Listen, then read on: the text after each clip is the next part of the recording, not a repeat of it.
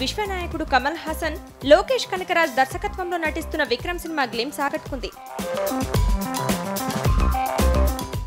మే పదిహేనున ట్రైలర్ విడుదల చేయబోతున్నారు. జూన్ మూడున మూవీ థియేటర్లలోకి వస్తోంది. కమల్ కెరీర్లో రెండు వందల ముప్పై రెండవ సినిమా ఇది. అనిరుద్ సంగీతం అందించిన ఈ మూవీలో ఫహద్ ఫాసిల్ విజయ్ సేతుపతి ఇంపార్టెంట్ రోల్లో కనిపించబోతున్నారు.